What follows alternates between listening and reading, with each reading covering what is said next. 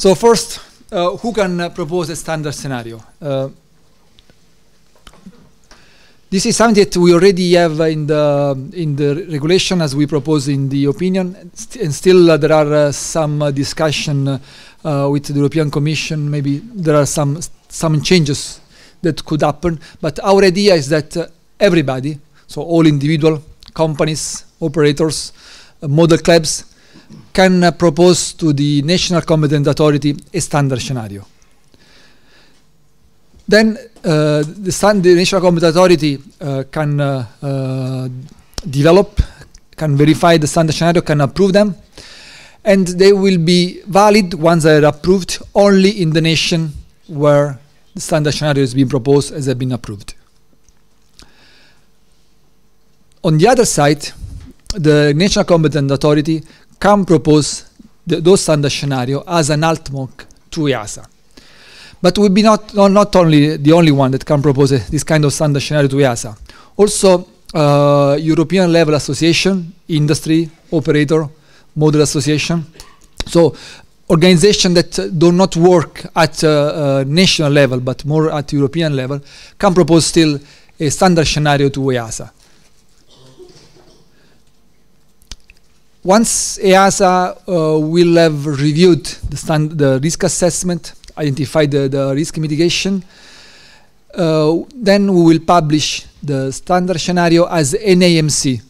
And we will use our normal uh, rule-making process. This means that uh, uh, we either publish as an NPA, so we'll have a full consultation. As, as normal, we have a, normally is a three months consultation, and we in, where all uh, stakeholders can provide comments. Or uh, if uh, we, there will be the condition uh, we will uh, uh, use a, an accelerated procedure. we can use a direct publication in case um, we can give credit to other form of um, consultation. For example, uh, the standard scenario that we are going to discuss uh, tomorrow, uh, since we are mostly reusing the standard scenario already developed by JARUS, and there is a, a, a, a consultation process that is public, uh, defined uh, within the, the JARUS process. And we know that most or almost all our European NAA are part of JARUS. So in order also to speed up the process, uh, we will uh, get credit to that kind of, uh, uh, of um, consultation.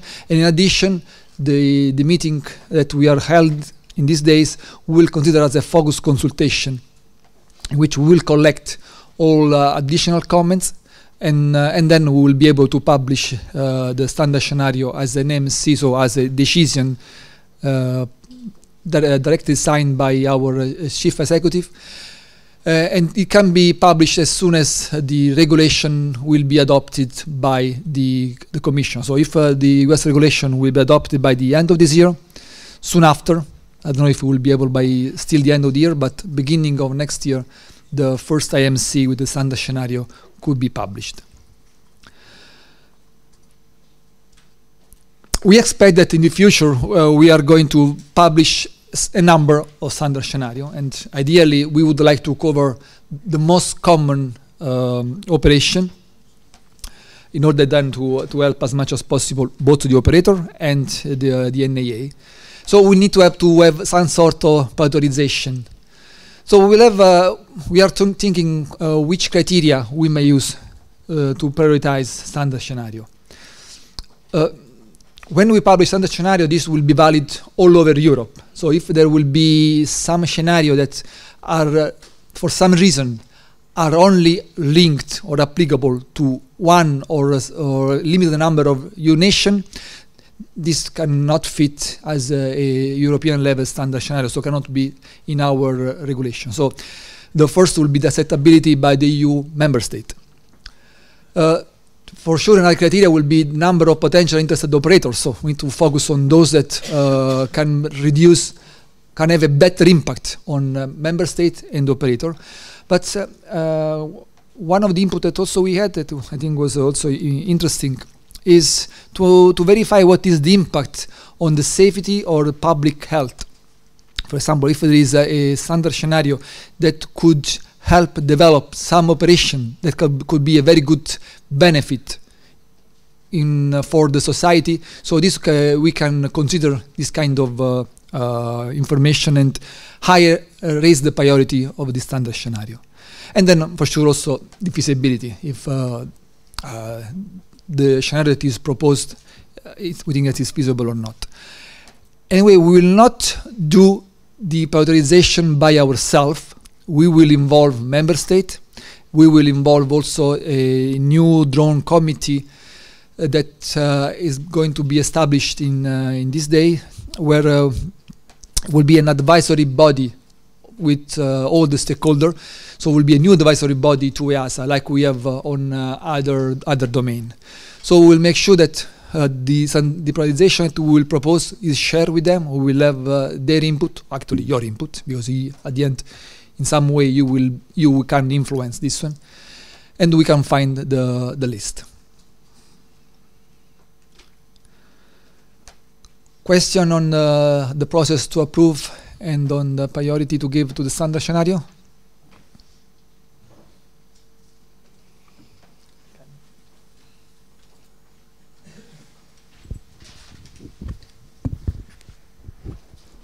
Uh, two questions. Um, first, is there a plan to establish a list of uh, standard scenarios that would be needed to be developed in priority to structure maybe a bit the work of the community?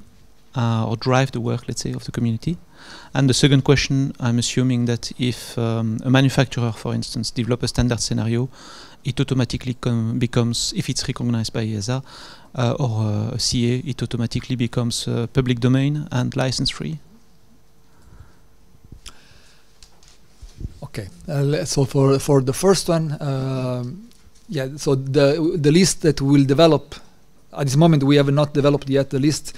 Uh, we were we are con we're concentrating on uh, developing the format of standard scenario and, and, the process to develop a standard scenario.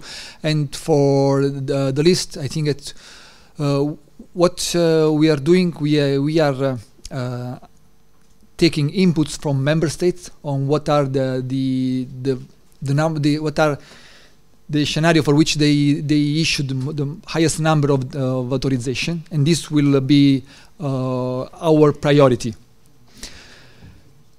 Regarding the, those developed by the industry, uh, since we will publish uh, the the standard scenario as an AMC, uh, what we will uh, do is we assume that it should be accessible by the operator Otherwise, then the, operator will not be uh, be able to to apply it.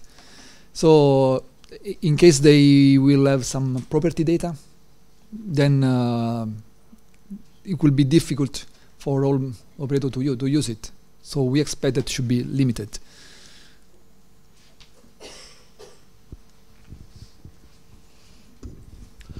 Robert van Nieuwland, DARPAS. Um, are you aware of the market and sector uh, survey that has been done by UVS International, this report, uh, with more than 1,000 responders, I think that would be a good basis to, uh, to start with to see which operations are being done today. And the other question was which operation you, are, uh, you want to do in the future. So that gives a good uh, first insight of which scenarios to start with. So sure, uh, we are aware of uh, that document and uh, we will use as an input. So uh, at this moment, uh, the we only we we developed only the first standard scenario that was helping us to pave the way on how the standard scenario will look like. So we did not start uh, to to develop other. So we'll use uh, also that input to define the future of how we'll do, but still the, we don't have the list and something that we will uh, define now in the in the next next months. Yes, we are uh, we are in contact with Peter, so for sure this is not a problem.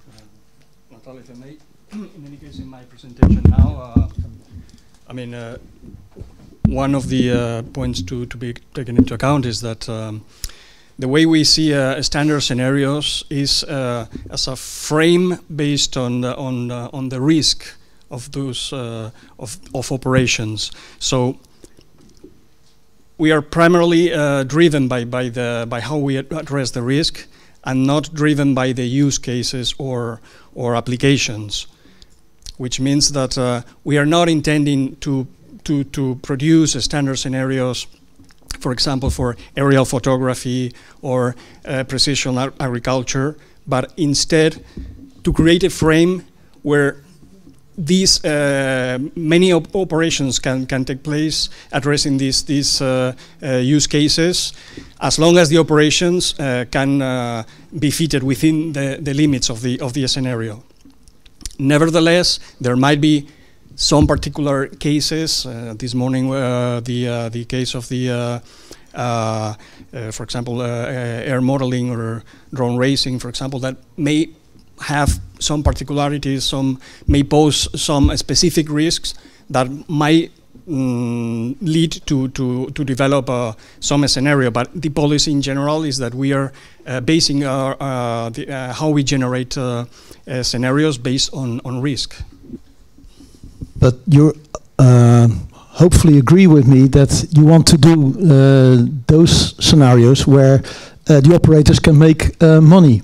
And if you're taking uh, one of the scenarios here at the end of the list, where you see that not much operators are interested in, so there's not much money going out there uh, to start with. Well, this is, this is one of the Yeah. criteria that we have a number of potential interested operators exactly this one. So we want to make sure that we do a scenario that then is is uh, interesting for the operator. So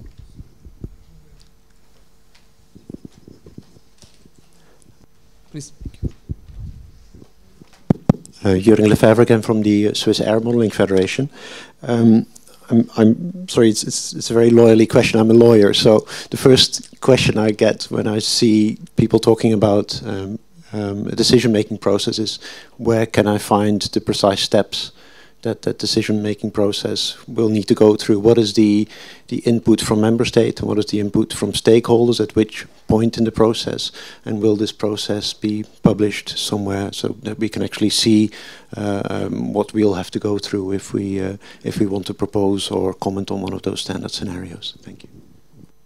So this will be part of uh, of the AMC to uh, to the regulation. So at this moment, we already have an article that uh, is addressing the ALTMOC, even if we are having some discussion with uh, the legal service on the um on the acceptability from a legal point of view of that article. So. Uh, even if uh, the, there could be some changes on this point of view, still uh, in the AMC, so in the decision that we will provide, we will give all the detail of the process in order to pro- propose a standard scenario.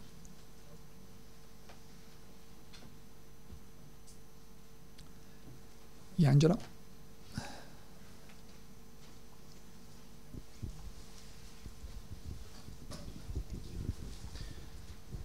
Um, one big first step to start all those activities here was the um, SESAR um, Outlook study on drones a couple of years ago. Um, wouldn't it be helpful to have an update of this study to get a better idea on the number of potential interested operators or the fields of industry that where you have the acceptable acceptability in the EU? Yeah, so th- that study is uh, we need to- have some resources also to to repeat it. So uh, I think at uh, this moment we we have uh, experience from the member states on the number of of uh, uh, of authorization provided. So this will be our first input, so, coming exactly from the field. Then also the study from uh, UVSI could be helpful. So maybe in I don't know in the future if we find funds we can do it, but at this moment I don't think we are planning to do it. Yeah, so if SESAR, yeah, if SESAR will have fun to to the updates, but I think that for this first uh, phase we have enough data to develop uh, to understand which are the most important uh, standard scenario to be developed, and we we envisage that maybe there will be I don't know our goal will be to have at least one decision per year in which we will provide the most interesting standard, the most important standard scenario. No, please. Yeah, I'm Max Scheck from the uh, European Cockpit Association. I, am not sure if I understood this correctly. In one of your prior slides, you showed that there's a way that the national competent authority can come up with its own standard scenario, which is then only applicable to that member state. Is that individual standard scenario then the proposed ALTMOC that is submitted to EASA, or do they also have the possibility to submit an ALTMOC to EASA?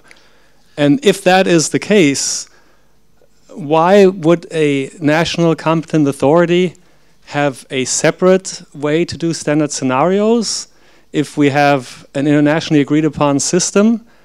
Um, is that just the means for them to, if EASA is, because of lack of resources, not fast enough to go ahead and be a little ahead of the game for their country, where they say, in my particular country, there is this interest, and eventually that would then be adopted by EASA, or is it going to be a totally different type of standard scenario setup, a different SORA process?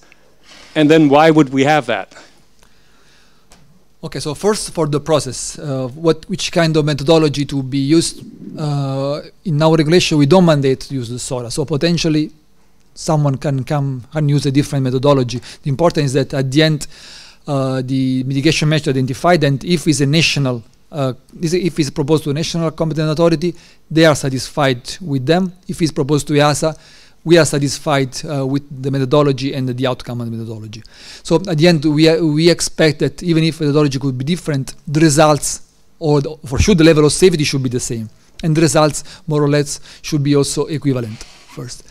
Uh, regarding so the, this, the standard, the national standard scenario, for several reasons can, can happen that uh, there is a need for a scenario that is only for one nation because uh, they have some peculiarity. For example, in the northern uh, European nation, we have very uh, large spaces and they have some conditions that are not applicable to other um, nations.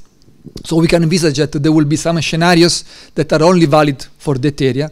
So uh, in that way, uh, we will only be use the the top line. So we'll, they will have a standard scenario only valid for those and will not be at the European level. When instead the competent authority believes that their scenario could be useful for the rest of Europe, they can then propose as an ALTMOC.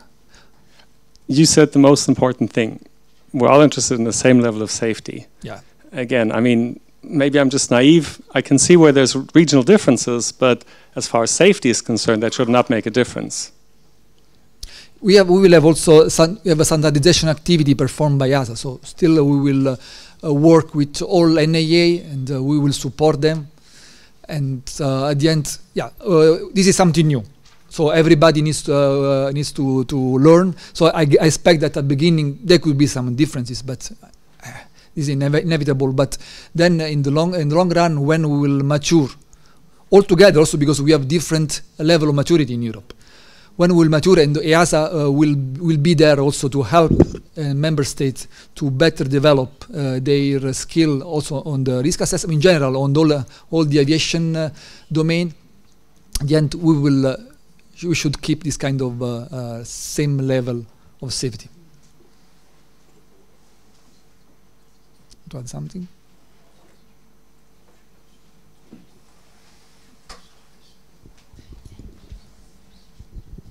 Thank you. Maarten Bonnema, uh, CAA uh, the Netherlands.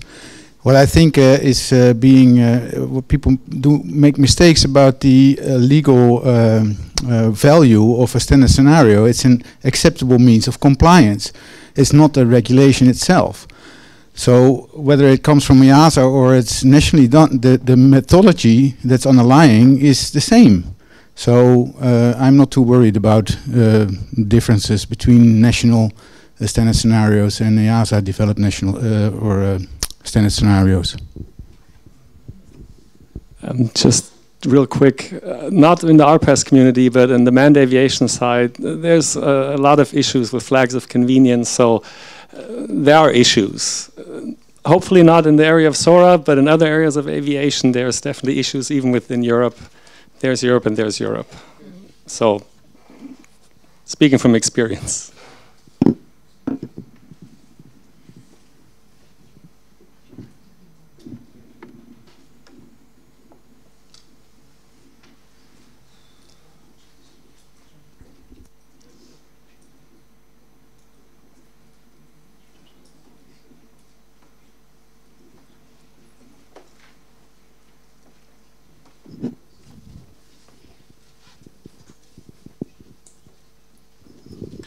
Only short question. Are there more details about the timetable for the standard scenarios uh, proposal and uh, how many of them you will invent in the next one to five years or say it like that?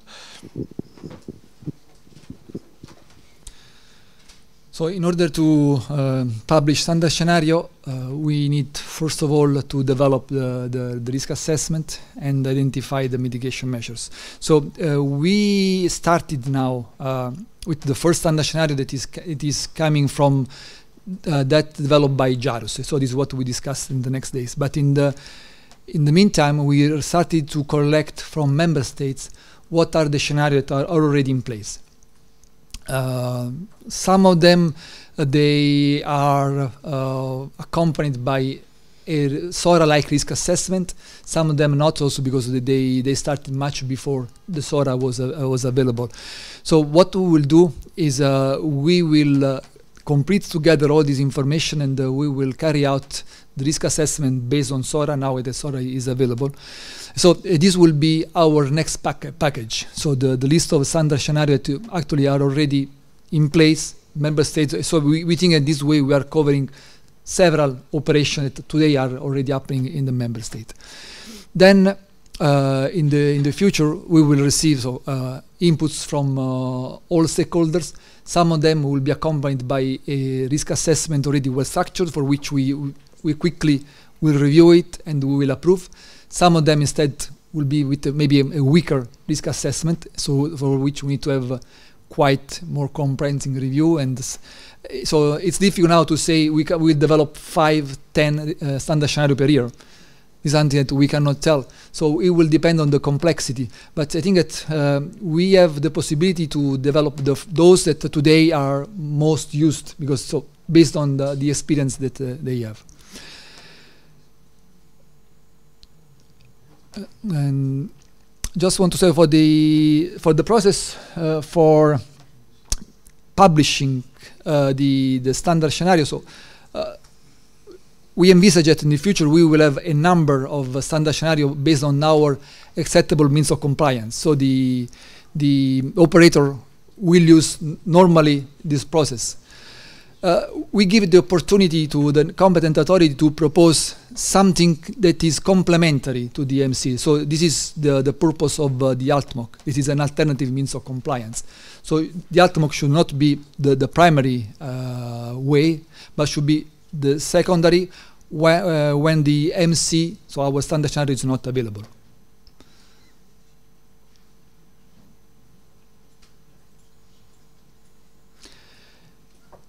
Any other question on the process?